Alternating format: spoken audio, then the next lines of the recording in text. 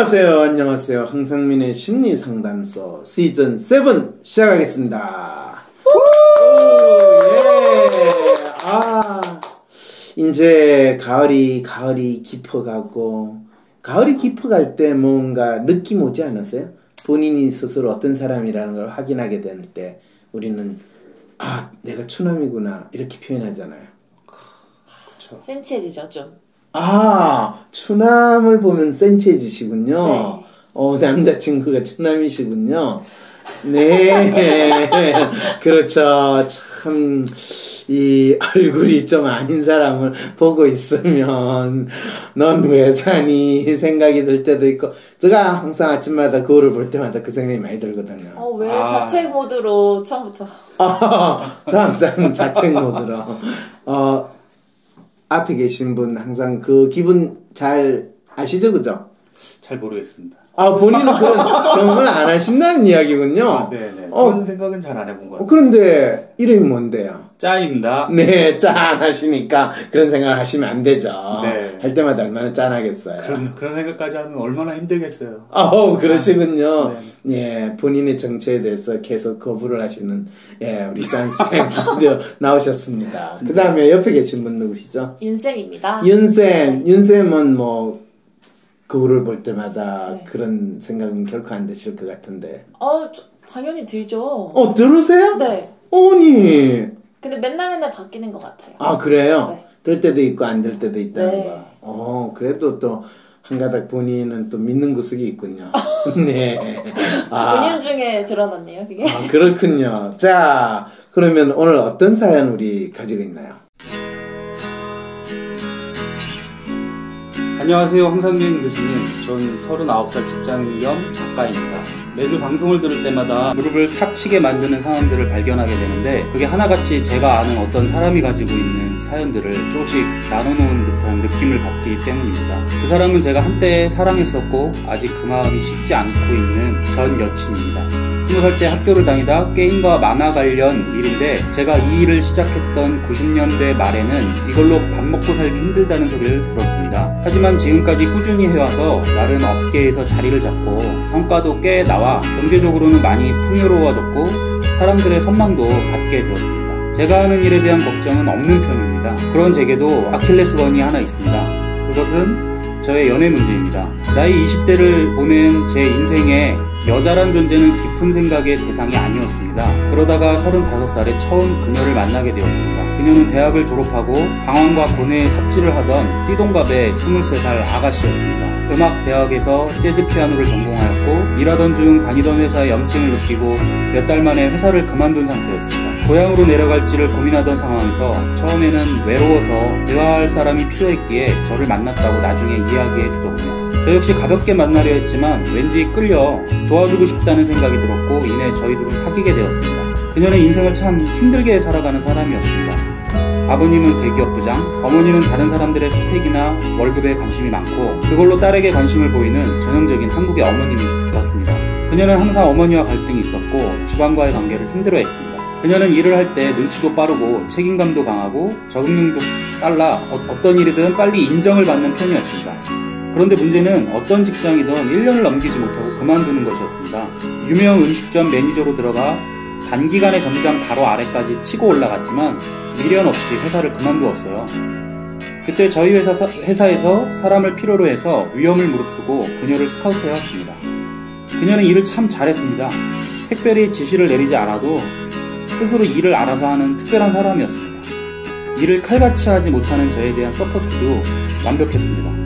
단지 일을 잘 못한다던가 자신이 생각했을 때 가치가 인정되지 않는 사람들과는 잘 어울리지 못하는 그런 모습이 보여질 때가 있었습니다. 그녀와의 연애는 참 좋았습니다. 저라는 특이한 사람을 이해해주는 정말 드문 사람이었고 그녀 덕분에 재즈라는 음악을 듣게 되었습니다. 둘이 다투기도 많이 했지만 서로 이해해가면서 3년 정도 지났을 때 그녀와의 결혼을 꿈꾸게 되었습니다. 하지만 이게 우리 둘 사이를 갈라놓게 될 줄은 몰랐습니다. 그녀는 예전부터 결혼을 긍정적으로 보지 않았는데 저는 그녀를 자신의 가족으로부터 완전히 독립할 수 있는 기회를 만들어주고 싶었습니다. 그리고 무엇보다 그녀가 하고 싶은 것을 좀 더 잘할 수 있는 서포터의 역할도 하고 싶었습니다. 그녀의 부모님보다 그녀를 더 행복하게 해줄 수 있는 건 저라고 생각하고 일을 밀어붙였습니다. 당시 함께 일본 여행을 가서 프로포즈를 했고 양가 부모님의 허락도 받았습니다. 상견례도 마치고 본격적으로 결혼 준비에 들어갔습니다. 직장 준비부터 신혼여행에 이르기까지 손수 준비를 해나가기 시작했습니다.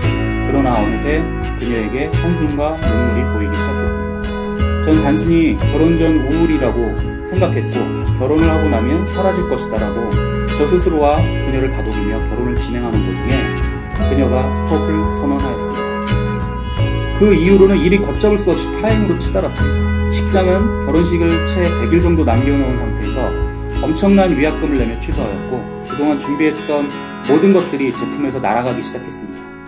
부부 상담소까지 다녀가며 상담도 받아봤지만 두세 번 받다가 그녀의 겁으로 무산되었습니다. 그렇게 우리는 올해 초 파혼을 하게 되었습니다. 그녀는 혼수로 직접 준비했던 가구들을 처분하려 했지만 그냥 제가 그녀로부터 구입하여 지금도 사용하고 있습니다. 그녀는 그 이후에 자신의 영어 실력을 키워 자신의 미래를 준비하겠다는 생각으로 제게 혼수로 판 돈으로 회사에서 일하며 모은 돈으로 말레이시아에 가서 유학을 떠났고 그냥 원래 일상으로 전 돌아가게 되었습니다. 그런데 그녀에게 연락이 왔습니다. 타지에서 아프고 힘들고 외로운데 대화를 나눌 사람이 저밖에 없다고 했습니다. 자존심상 부모님께 말씀드리지도 못하는 것도 제겐 이야기를 하던 편이어서 그렇게 화상통화와 전화를 나누며 연락했습니다. 몸 아프지 말라고 비타민이나 약재도 챙겨주기도 했고 이렇게나마 연락을 이어갈 수 있다는 사실이 행복했습니다. 그러던 중에 그녀에게 문제가 생겼습니다. 결국엔 유학을 실패하고 한국으로 돌아오게 됩니다. 지금도 저와는 매일 연락하고 지내는데 심적으로 너무 우울하고 힘들어합니다. 학교를 졸업하고 쉬지 않고 닥치는 대로 열심히 해왔지만 지금 자신에게 커리어로 남아있는 건 하나도 없는 상태에 집에선 이미 늦었다는 말을 듣고 자존감을 깎는 소리를 지속적으로 듣고 있는 것 같았습니다. 그녀는 아이디얼이 되고 싶은 리얼리스트입니다. 항상 새로운 것에 대한 도전과 안정적인 삶에 대한 충돌이 그녀를 항상 괴롭혀왔고 저에 대한 평가도 안정적인 삶을 꿈꾸기엔 제 상태가 불안했다 합니다. 매일매일 삽질의 연속 그리고 구덩이를 파고 점점 기어들어가는 그녀를 먼 발치에서 보고 있으면 제 마음이 찢어지는 것 같습니다. 제가 4년 동안 애써왔던 그녀가 절 만나기 전에 우울한 그녀로 순식간에 돌아가 버렸습니다. 요즘에는 왜 사는지 모르겠다는 말을 입에 달고 사는 그녀에게 힘이 될 방법을 찾고 싶습니다. 참고로 황 교수님께 개인 상담을 받고자 제안했지만 상담 액수를 듣고선 거절해 버리더라고요. 어차피 들어도 소용없다고. 그 사람이 무슨 용 빼는 재주가 있냐고.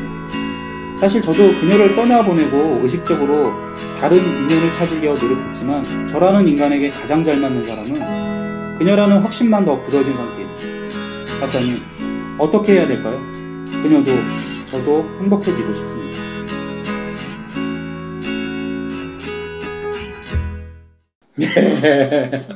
와, 이야, 아, 이거 기네요, 사연. 사연이 또 길고, 사실은 이렇게 사연이 너무 길어가지고, 이 사연을 채택을 제가 안 하려고 했어요. 아, 네. 그런데 채택을 하게 된 결정적 이유가 뭔지 아세요? 뭐예요? 두 사람의 인생이 걸린 문제입니다. 아, 이걸로 해결해야 앞으로 나아갈 수 있을 것 같습니다. 이 제목을 담은 거예요. 절박해요. 네.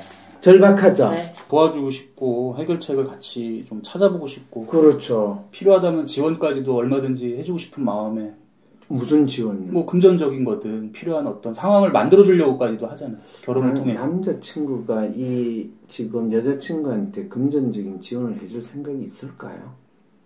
어, 여기 표현한 게 그 말이 아닌가요? 그럼? 어떤 표현이 있었는데요? 그녀가 찾고 싶어하는 일을 찾게 도와주고 싶다고 했잖아요. 어, 찾고 싶은 일을 도와주고 싶죠. 그냥 이야기를 해서. 아. 근데 거기에 그걸 하는데 돈이 들면 제가 대신 그 돈을 지불하겠습니다라는 이야기를 해야 안 해요. 그런 얘기는 구체적으로는 없죠. 그러네. 왜냐면 상담, 개인 상담 같은 거 신청을 네. 자기 돈으로 해서, 그러니까 맞아요. 대신 해주면 되잖아요. 내가 이 부분을 듣고 막 속으로 웃었어요. 아, 진짜로 상담을 받게 해주고 싶으면 그런 얘기까지 안 하고 그냥 거기 가서 상담 받아. 그렇죠. 내가 낼게. 이렇게. 얼마 안 해. 그냥 어, 얼마 안 마. 해. 그렇죠. 응. 왜 그런 경우가 많거든요. 어떤 경우에 남자분 이름으로 상담이 신청돼 있고 그래서 남자분을 쓰는데 어 이름이 남자분이구나 이렇게 생각해서 여성분이 온 경우도 있어요. 그러면 왜 경제적으로 이렇게 뒷받침 해주겠다는 생각을 못 할까요? 그게 신기해요. 첫 번째. 그래서 이분이 진짜 어, 한때 가장 사랑했고 아직 그 마음이 식지 않는 전 여친입니다라는 이 말이 진짜일까라는 생각이 이제 먼저 드는 거예요. 음, 그러니까 당신은 이제 충분히 나름대로 내가 뭐 사회적으로나 경제적으로 안정됐다. 네네. 그런데 실제로 어, 이분 여자친구는 이분에 대해서 그런 생각을 가지고 있을까? 지금 여기 파혼한 이유를 여자친구가 그렇지 않았다고 얘기를 하죠. 뭔데요? 방한 이유가. 안정적으로 느껴지지 않았다고. 네. 이 부분인 거예요. 그래서 사실은 이분 사연이, 어, 이분은 지금 아주 전체 상담 사연이 이게 내 안은 나는 문제가 없고요. 내 여자친구가 지 갈 길을 못 찾고 그래서 파혼까지 시키고 또 유학 간다고 뭐 말, 영어를 배우러 말레이시아를 갔대. 다들 비용 때문이죠. 그렇게 하는 게. 그래서 결국에는 그 여자친구나 이분이나 참 배우려면 제대로 배워야 되는데 본인이 문제를 진짜 해결할 마음이 있으면 제대로 해결해야 되는데 사실은 뭐 비용을 아낀다고 가가지고 결국은 제대로 배우지도 못하고 허접하게 일이 결국에 되고 마는 거. 네 네. 그 대부분 많은 리얼리스트 성향을 발휘하는 아주 대표적인 특성이거든요. 아, 그러면 이분이 남자분이 리얼리스트 성향인 거. 아니요, 이분이 완전히 그 리얼리스트 성향은 아닌데, 이분 성향은 보면 이 아이디얼리스트하고 휴머니스트 성향이 같이 있어요. 네네. 그리고 또 리얼리스트 성향도 있어요. 그러니까 그때 그때마다 이분이 내 성향이 뭔지에 대해서 당신도 좀 헷갈릴 수 있는 리얼리스트, 아이디얼리스트, 휴머니스트 이 세 가지가 같이 있기 때문에 네. 아, 저 사람은 어떤 때는 상당히 괜찮고 말이 통하는데 어떤 때는 상당히 아마 여자친구 입장에서는 우리 아빠 엄마를 만나서 이야기하는 그 느낌 그대로를 동시에 느끼는 그 상황이 되는 거예요. 어, 이분 자기 개인의 삶을 살아가는 데서는 아이디얼리스트적인 성향을 상당히 많이 발휘하고 지내는데 네네. 어떤 여자친구의 관계에서나 일상적인 삶을 살 때는 상당히 리얼리스틱 모드로 전환이 되는 아. 그 부분이 아마 있는 분 같아요. 음, 그러니까 마치 이 realist인데 idealist를 지향합니다. 라고 자기 여자친구에 대해서 이야기를 했잖아요. 그렇죠. 그런데 이분은 idealist인데 realist를 지향하는 아, 오. 그 특성이 이분이 가지고 있는 기본적인 특성이라는 거죠.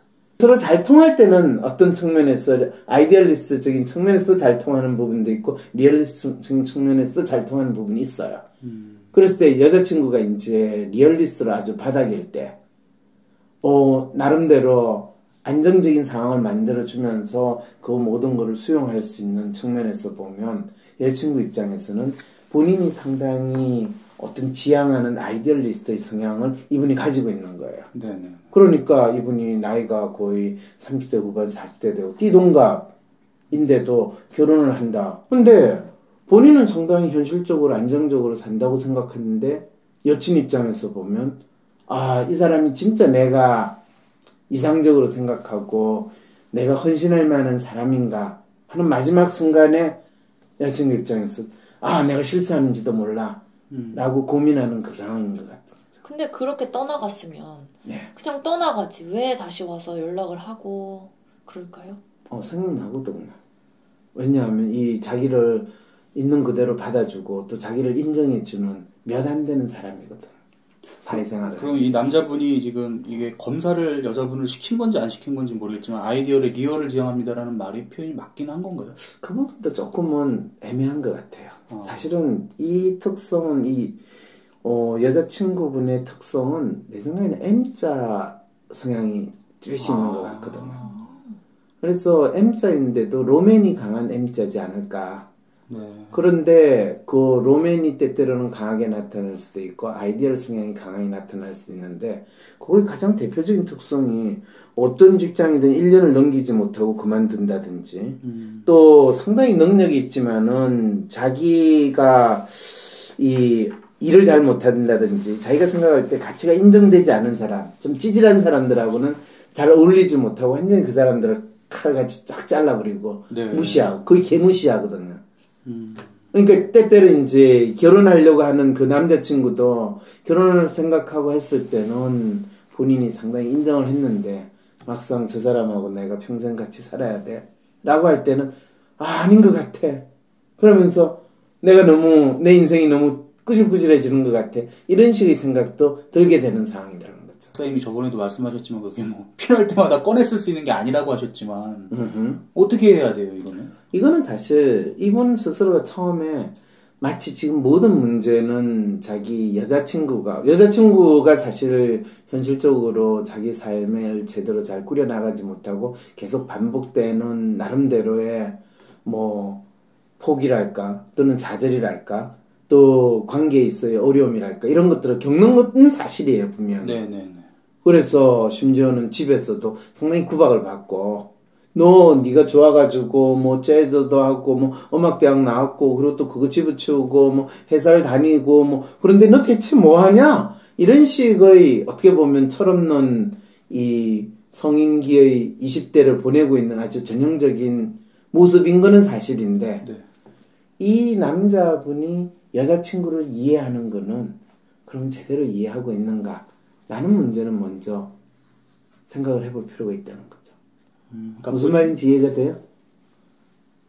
그러니까 이 남자분도 이 여자분을 볼 때 여자분의 부모님의 관점에서 보는 거예요. 보는 부분이 상당히 많다는 거죠. 음, 왜냐하면 이 여자친구는 상당히 감수성도 있고 또 나름대로의 문화적인 소양이나 그런 부분도 있고 또 어떤 부분에서는 자기하고 상당히 이야기가 통한다라는 데에서 어 상당히 매력을 느끼는데 정작 어떤 부분이 진짜 이 여자친구에 있어서 이 특별한 그 재능인가에 대해서는 본인 스스로가 지금 여기에서 상당히 여러 가지 능력들을 표현했는데 그거는 어쩌면 본인이 부족한 거 본인이 가지지 못한 것을 여자친구가 가지고 있고 그런 모습을 보인 거에 대해서 본인이 감탄하는 걸 이야기하고 있는 수준이지 아. 진짜 여자친구가 어떤 삶을 살아가는 것이 좋고 이 여자친구의 문제가 뭐라는 거에 대해서는 정확하게 인식을 못하는 상황이라는 거죠. 이번에 지금 상담 사연의 에센스는요. 당신은 당신의 삶이 그냥 지금 웬만큼 경제적으로 먹고 살만 하다고 하지만은 당신이 진짜 사랑하는 사람한테 당신이 그 사람이 어떤 사람인지를 제대로 알려고 했는지에 대해서는 질문을 던지고 싶네요. 그리고 당신은 이 뭐 프로포즈 해가지고 결혼 아무 문제 없이 이루어진다라고 했을 때 그 과정에서 여자친구가 뭐 marriage blue라고 해서 또 우울증을 느낀다 뭐 이런 식으로 아주 단순하게 표현을 해요. 사실은 이 여성분 입장에서 realist인데 idealist를 지향하는 여성분 입장에서 결혼이라는 거는 어떻게 보면 특히 이 남자와의 결혼이라는 건 본인의 삶에 있어서 새로운 차원으로 새로운 발전을 기할 수 있는 기회인데 그렇잖아요. 비교적 경제적으로 안정된 남자고 또 자기 나름대로 삶을 웬만큼 잘 살아가는 이 사람이잖아요. 네. 인정도 받는. 그리고 자기를 더욱더 발전시킬 수 있고 통하는 남자인데 그 상황이 marriage blue겠어요? 아니에요. 그런데 본인은 그걸 marriage blue라고 규정을 했다는 거는 그 여자친구하고 결혼하는 데에서 일어났던 문제가 뭔지에 대해서 본인은 정확히 알려고 하지 거예요. 아,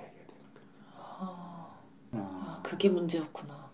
뭐 그게 모든 문제를 말하진 않지만 네. 첫 번째 문제는 이분은 실제로 이 사연을 이렇게 보내서 여자친구 보고 너 가서 상담 받아봐 황 박사한테 여자친구는 뭐라고 그 사람이 무슨 용 빼는 재주가 있다고 그럴 때 여자친구의 문제가 자기 문제도 뭔지를 모르는 상황이 있으니까 마치 어떤 문제 상황이 벌어지면 어려운 두 사람과의 관계에서 어려운 상황이 있으면 그거는 여자친구의 문제라고 이미 규정해 있다라는 그것까지도 알려주고 있다는 거죠. 그럼 자기 문제인 거를 먼저 직면해야 된다는 얘기신 거죠? 그렇죠. 근데 그게 될까요? 그러니까 그게 안 될 것 같아서 이 사연에서는. 그렇죠. 네네. 네. 예.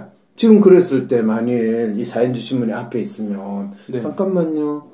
지금 사연 주신 분은 이 본인의 연애 문제라고 분명히 이야기하면서도 마치 저는 아무 문제가 없고 저 지금 파혼하고 다시 돌아와가지고 고향에서 찌질하게 있는 힘들어하는 저 여자친구가 문제라고 생각하는 지금 그 마음으로 지금 이 사연 보내신 거 맞죠? 라고 하면 뭐라고 답할까요?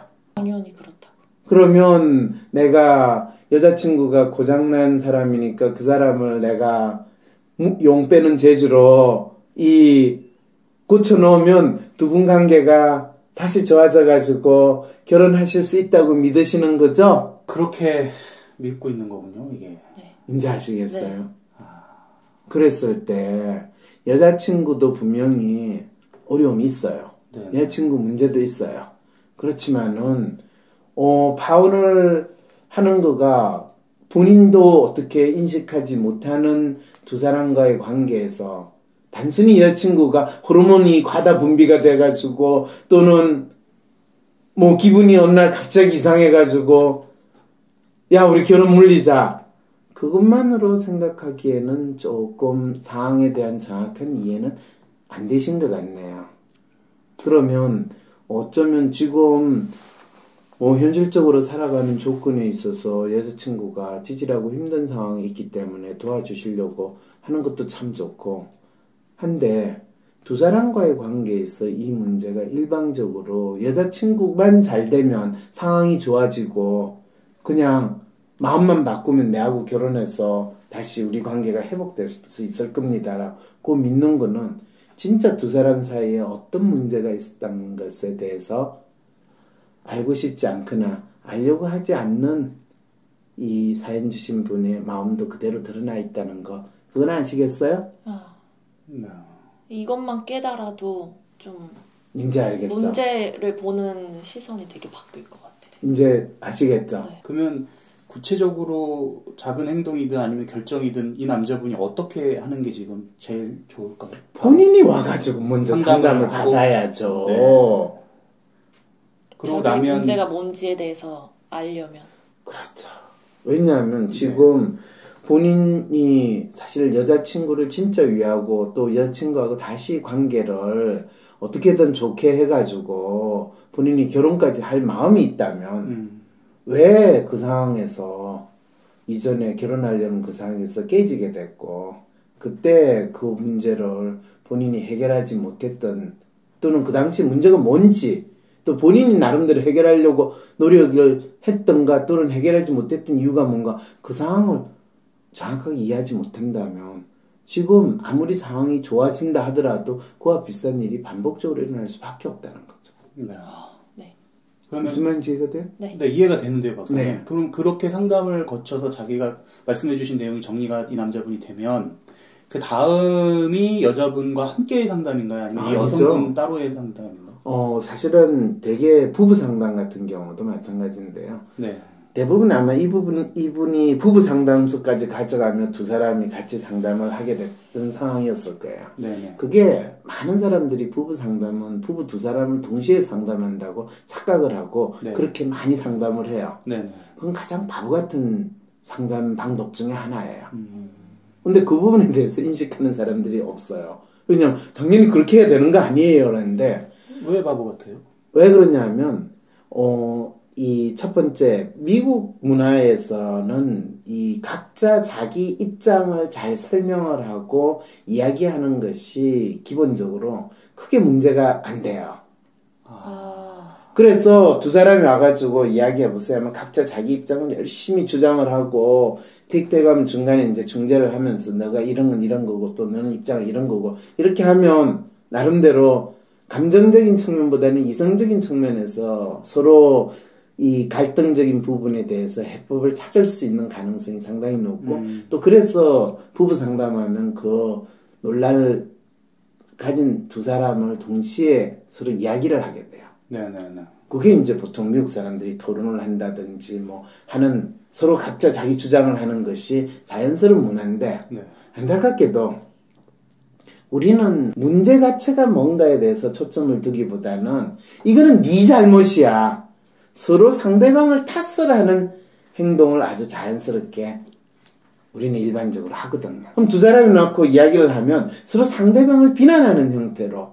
어. 그런데 이 여성분 같은 경우에는 어, 결혼을 해야 되냐 말아야 되냐 갈등하는 그 상황에서 심지어는 부부 상담을 한다고 가더라도 결혼 아직 안 한 상태에서 서로 이제 곧 결혼 그런데 거기에서 부닥치고 불편한 자기 문제를 그대로 이야기하기보다는 어쩌면 그거를 자기 남자친구 곧 결혼할 남편 문제라고 이야기하기가 힘들어요. 그래서 두 사람이 같이 이야기를 하는 상황이 만들어지면 문제 자체가 뭔지를 알지도 못하면서 막연히 아 지금 이 상황에서 내가 이걸 해결할 수는 없구나.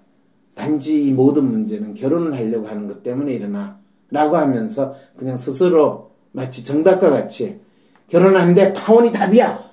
이런 심리 상태로 들어가 버리는 거죠. 그런데 실제로 정확하게 그렇게 되어버린 거죠. 그래서 부부 상담인 경우에도 대개는 각자 먼저 상담을 하고 그런 다음에 가장 좋은 방법은 배우자가 상담한 내용을 이 다른 사람이 듣게 하는 거예요. 아. 그러면 이 여자분도 상담하는 거에 대해서 관심도 생기고 이 그리고 진짜 이 남자친구가 가진 생각, 자기에 대해서 가진 생각이 어떻게 표현되고 음. 또 내가 남자친구 앞에서는 차마 이야기하지 못했던 나의 마음이 이렇게 드러났을 때 그게 남자친구한테는 어떻게 받아들여졌는가에 대한 이해를 하게. 말로 표현하지 않았고 마음속에 가지고 있었던 것을 훨씬 더 편하게 표현할 수 있게 되고 또 내가 이런 이야기를 하면 저 사람이 저렇게 받아들일 거야라고 내가 짐작했던 것과는 다르게 상대방이 그걸 이해하고 받아들인다라는 것을 아주 생생하게 알 수 있게 되는 거죠. 같은 문제를 다른 마음으로 보고 있다는 것을 확인하기도 하게 되는 거죠. 아. 그럼 이게 그 이 남성분이 한 번 상담으로 이게 효과가 다 날까요? 아니, 아니면 한몇 번, 번 이건- 정도의 상담이 필요할까요? 이거는 뭐 두서너 번 정도만 하면 네네. 충분히 돼요. 왜냐하면 처음에 한 번 상담을 했을 때는 이 남자분을 먼저 상담을 하면 돼요. 네네. 그러면 남자분이 자기가 가지고 있는 이 뭐 여자친구에 대한 이야기도 했지만은 결혼에 대해서 또 여자친구에 대해서 또 앞으로 자기가 어떻게 살아갈 거에 대해서 뭐 이런 것들에 대한 이야기를 하게 되잖아요. 네네. 그런데 그거를 본인이 이야기한 내용을 어 사실은 여자친구한테 그대로 이야기할 거냐 아니냐는 어 여자친구가 진짜 결혼에 대해서 어떤 생각을 가지느냐 아니면 자기 삶에 대해서 이것이 남자친구와의 관계의 문제일 수도 있고 여자친구 스스로가 자기 삶에 대해서 기대하거나 또 자기 스스로 두려워하는 문제일 수도 있거든요. 그러니까 별개의 두 사람이 각자 자기 문제에 대해서 인식하게 하는 과정은 필요해요. 네네. 그런 다음에 그 각자 자기 문제에 대해서 충분히 인식하는 사람이 어떤 관계를 맺고 싶다. 또 두 사람이 서로에 대해서 좀 더 우리는 알고 싶다. 라는 마음을 표현했을 때, 그러면 당신이, 당신의 문제에 대해서 이야기하는 것, 그 내용을 상대방에게 알려주는 거에 동의하냐? 음. 그러면 상대방도 자기에 대해서 표현하고 자기에 대해서 고민한 문제를 당신한테 알려주는 걸 동의한다면 두 사람은 이제 어쩌면 각자 자기만의 문제를 공유하고 공감하는 단계로 넘어가게 되는 거죠. 네. 그것이 이제 진정한 couple therapy, couple counseling 과정으로 들어가는 거라고 할 수 있죠. 음. 네. 두 사람이 동시에 상담을 할 필요가 없이 네. 그렇게 되면 훨씬 더 상대에 대한 이해가 높아져요. 네. 무슨 말인지 이해가 돼요? 네, 이해됐어요. 네. 그래서 이분 같은 경우에는 지금 상담을 급하게 받아야 되는 분은 그 여자친구의 문제가 아니라 이 사연 보내주신 분이에요. 네 네. 본인부터 해결하시고 네. 이분이 진짜 이분이 도와주고 싶으면 빨리 상담을 먼저 받으시는 게 좋겠네요. 그렇죠. 네. 어쨌든 이제 이해가 되셨어요? 네 네 네. 처음에 사연 들을 때는 어 상담이 어떻게 될 건가 예상을 하셨어요? 그러니까 저는 여자친구가 잘못이다 이쪽으로 어떻게 음. 좀 바뀔 건가 이런 식으로 예상은 했어요 혼자서 네. 근데 이렇게 이분한테 문제가 있다는 걸 듣고 되게 좀 예상을 못했던 그렇죠. 상담이었습니다. 이제 이런 상담을 듣게 되면 이분이 이제 두 분 다시 연락 안 올 겁니다. 어 이분이 ideal 성향이면 연락 올 것 같은데? 모르겠죠. 왜냐하면 좋겠는데 어, 네. 대부분 사람들은 어, 저 사람이 문제가 있었어. 내 자식이 문제가 있었어. 쟤만 바뀌면 아무 문제가 없을 거라고 생각하는 그런 상황에서 어, 자식이 문제가 아니고요. 여자친구가 문제가 아니고요. 바로 네가 문제거든요. 이런 상황이 되면 뭔 소리야! 이렇게 반응할 가능성도 상당히 높거든요. 그렇지만 이, 이분은 아이디얼이니까 안 그러지 않을까요? 어, 본인이 아이디얼이라서 아이디얼은 상당히 문제를 있는 그대로 잘 받아들일 거라고 착각하시는 어, 것 같은데. 그건. 꼭 그렇지는 저도 않아요. 이 사연을 읽으면서 이분이 왜 부모님 이 여자친구의 부모님으로부터 독립을 해서 자기가 또 다른 가족을 강요하는 거지라는 생각은 들었었거든요. 오, 정확하게 잘 이야기하네. 네. 벌써 그 상황이 여자친구한테는 또 다른 속박으로 다가왔을 수도 있다라는 거. 네. 그래서 이분이 자신이 어떻게든 사랑하고 싶은데 그 방법을 알고 싶어요라고 저는 이 사연이 보여서 어, 그랬어요. 그 캐치하셨어요. 네. 그래서 이분이 이분 상담을 먼저 받아야 된다라는 생각까지 하셨던 거예요. 아니 그 생각까지는 안 했지만 박사님 말씀 듣다 보니까 그 관점에서 보면은 어 너무 속 시원한 답변이 될 것 같은데. 아, 그래요? 네네. 그분한테도 그랬으면 되게 좋겠네요. 아 그랬으면 좋겠네요 네. 진짜. 자, 오늘 나오신 분 누구시죠? 짠이었습니다. 네. 윤쌤입니다. 네, 수고하셨습니다.